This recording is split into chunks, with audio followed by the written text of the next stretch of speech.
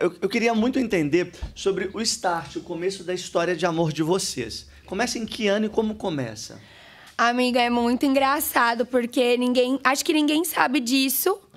Mas eu e o Jugner, a gente se conheceu antes do De Férias com Ex. Ah, então, é anterior? É. Tu acredita? Não! Eu me isso. apaixonei pelo boyzinho e fui pro De Férias com Ex. É isso. Superação é a palavra pro boyzinho. Você foi apaixonada pelo Hilgner pro reality? E ele sabia que você tava indo? Apaixonada? Sabia, porque ele também tava apaixonado. Mas ele descobriu. Tipo assim, ele não demonstrava tanto. Aí depois que eu fui pro reality, porque eu fiquei um mês gravando, né? Aí ele sentiu saudade da cremosa. assim. Vocês se conheceram como? A gente se conheceu na farofa da GK, tu acredita? Só que em. Quantos anos atrás? Já quatro anos atrás? Lá, bem no comecinho da farofa. Acho que, na, acho que era a segunda farofa da GK. E eu namorava outra pessoa. Só que aí a Gabi Martins apresentou. Ah, esse aqui é o Jugner, ele faz eventos, não sei o quê. Mas assim, só conheci de oi, oi, oi. Oi, tudo bem? Prazer, tal. Nem tchum. Eu namorava outra pessoa. Aí, beleza. Passou o tempo. Aí depois eu estava numa festa, tipo, passou muito tempo mesmo. Tava numa festa, num aniversário em Goiânia de uma amiga. E aí o, o Rafa da Choquei foi nosso cupido também, junto com o Flavinho do Central da Fama, sempre as páginas, né, meus amigos? Me apresentaram ele de novo. E, tipo assim, sumiu da minha cabeça que eu já tinha conhecido ele. Sabe quando você esquece? Daí apresentaram de novo. Ah, esse aqui é o Yugno, ele trabalha com eventos. Aí na hora eu não lembrei que eu já tinha conhecido ele na farofa. Ele lembrava? Ele também não lembrava. Aí fomos apresentados. Aí nesse momento eu já estava solteira. Aí, oi, tudo bem e tal. Aí depois os. Um oi, tudo bem, já olhando assim de lado? É, já paquerando. hum, gostei. Eu gosto de um nordestino. aí cumprimentei ele e tal. E aí os meninos começaram a a atiçar, sabe? Falar assim: eita, né? Ele te achou bonita, perguntou quem é você e tal. Aí rolou um climinha, mas passou. Daí ele Não teve sempre. beijo na boca? Não, não teve. Eu fui bem difícil, meses. Ele me mandava mensagem. Meses? Meses. Ele me mandava mensagem convidando para os eventos que ele fazia na Paraíba, várias coisas. Aí eu, não, eu não vou. Eu vou lá na Paraíba conhecer melhor esse homem, não vou nem a pau. Aí eu enrolei, enrolei, até que acabou que ele me convidou para um dos eventos, só que, tipo, profissional mesmo. Tipo, eu, o Rafa da Choquei, o Flávio e Ah, outros influenciadores. Contratando. Contratando. Inteligente o moço. E eu descobri que foi um golpe, viu? eu descobri que foi um golpe. Porque ele falou assim: não, na verdade, não precisava tanto da divulgação no evento, mas eu queria tanto te conhecer e você era tão difícil que eu tive que arrumar um job lá pra você ir, porque senão eu não ia. É um evento da Heineken que nem precisava tanto assim de divulgação para esse evento em específico que ele estava fazendo na Paraíba, mas ele quis a divulgação para poder me conhecer. Só que ele só revelou isso depois que a gente já tava namorando. É aquela música, investe em mim. Ele, ele, Ele investe. investindo. Vou investir aqui, ó. Já pra conhecer, eu vou. Vai lá, vamos chamar a moça então. E aí deu Aí certo. eu fui pra Paraíba. Aí eu, ai, não, né? Tô, vim a trabalho, não tem nada a ver. Aí fiz a divulgação do evento junto com os amigos e tudo mais. Aí, aí ele convidou a gente, ai, vamos pra praia, vamos pra isso. Pronto. Aí Ah. fui pra praia. Você foi pra praia? Fui pra praia com ele, aí conheci ele melhor, a gente ficou lá, foi muito divertido. Aí a gente acabou dando nosso primeiro beijo. E, e aí depois disso, tipo assim, foi, foi surreal, porque a gente se conectou muito. Aí ele, ai, você não quer passar mais uns dias aqui? Aí eu, gente, eu só posso estar ficando doida de ficar aqui tanto tempo assim. E aí acabou que eu mudei minha passagem. O Rafa da Choquei mudou a passagem. A gente foi pra passar, tipo, três dias. A gente passou uma semana na Paraíba. E aí, depois disso, Aí você já tava apaixonadinha. já tava. E aí, a gente começou a ficar. Ele foi pra Goiânia, eu ia pra Paraíba. Tava aquele lovezinho gostoso. Aí o que, que aconteceu? Eu tava no início da minha carreira, tipo, eu tinha 800 mil seguidores. Eu recebi o convite pro De Férias com Ex. Aí eu ficava assim, meu Deus, e agora? Porque eu tô apaixonada, então eu não tô nessa vibe de pegação. Mas por outro lado, era uma oportunidade única, tipo assim, Sim. De férias com ex, é um reality show, me daria mais oportunidade das pessoas me conhecerem. Então eu fiquei muito na dúvida se eu iria pro de férias com ex ou não. Só que ele foi a pessoa que mais me apoiou. Ele falou: "Eu cheguei na sua vida agora, você tem sua carreira. Se isso vai ser bom pra você, então você tem que ir". Aí, mas você sabe como é de férias com ex, você já assistiu pra estar falando pra eu ir assim. Ele, eu sei que é um reality. Eu nunca assisti, mas eu sei que é um reality, que as pessoas se conhecem e tal. Aí eu, então, e agora? Só que aí eu falei, ai, essa minha temporada é a temporada Celebs. Vai ser mais tranquila, vai ser mais de boa, não vai ter tanto beijo, essas coisas. Aí ele, não, tudo bem. Tanto é, isso também ninguém sabe.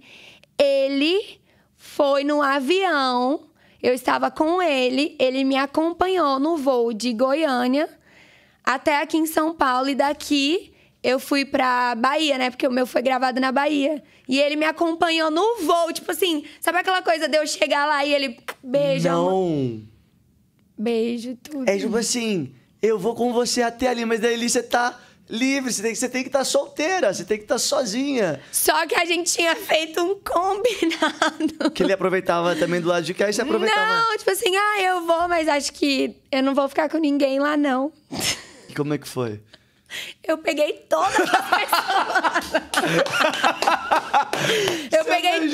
todas. Até as meninas. E olha que eu nem fico com mulher. E lá eu fiquei Foi com a primeira vez que você ficou com mulher? Foi lá. Eu fiquei com todo mundo. Tipo, não teve um. Eu não posso falar um que eu não tenha ficado lá.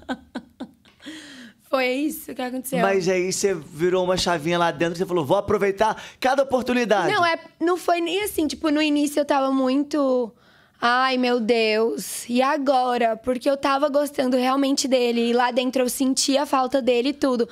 Só que o reality em si é muito envolvente. Lá a gente bebia muito, brincava. E as brincadeiras era tipo de vendas, aí dava um beijinho e tinha que descobrir quem era a pessoa. Aí como eu não ia participar, tipo, eu, no início eu tava bem chata.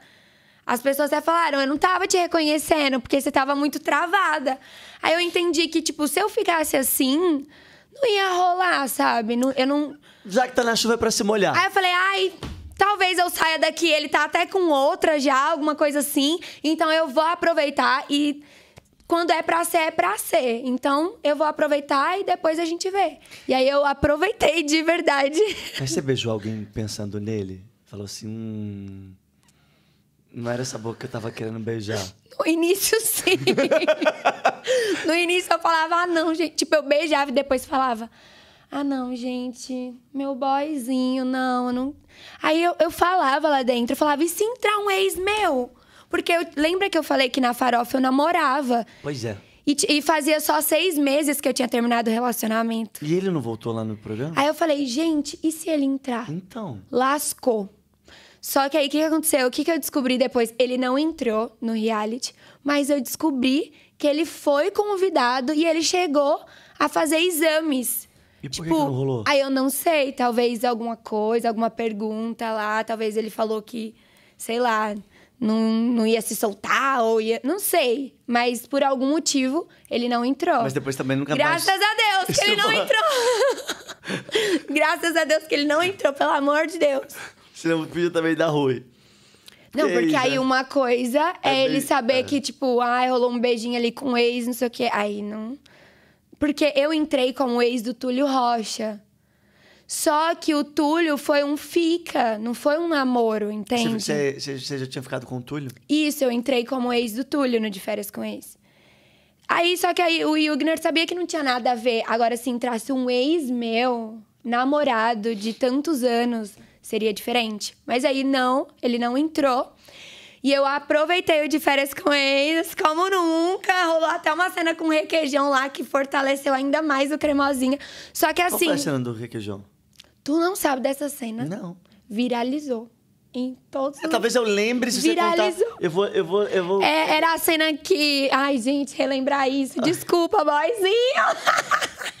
Ai, lá eu tô... de Foi porque- Pegação com requeijão? É porque tu não lembra de um vídeo que era uma menina gritando com um japonês, um naka. Eu gri- Ah. gritando. Tu, tu lembra, não? Do Naka do episódio? Pronto. Era você? Era eu, gente. Eu não sa... Gente, eu não tinha feito o lá com Cra.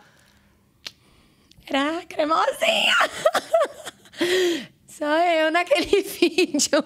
E aí ele se lambrecou de requeijão. Isso virou Ai, até meme. Isso, virou bom. meme. Entende? Uhum. E aí, foi assim, só que teve os pós e os contras, entende? Tipo, foi bom e foi ruim. Foi muito legal, porque eu consegui mostrar a minha essência no de férias, porque esse jeito espontâneo, engraçado. Lá eu gritava, eu brincava e tal. Só que também foi muito ruim nessa parte, porque o de férias é gravado.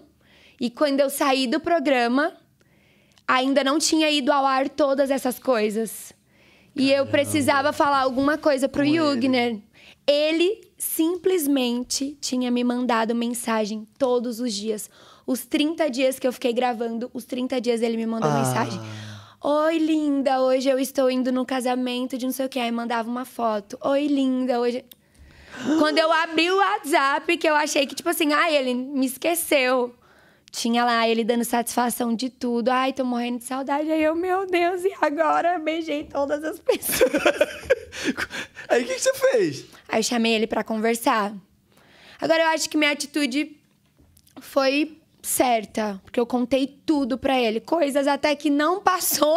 Você falou. Eu contei, eu contei tudo. Ele me perguntou: "Mas você ficou com alguém?"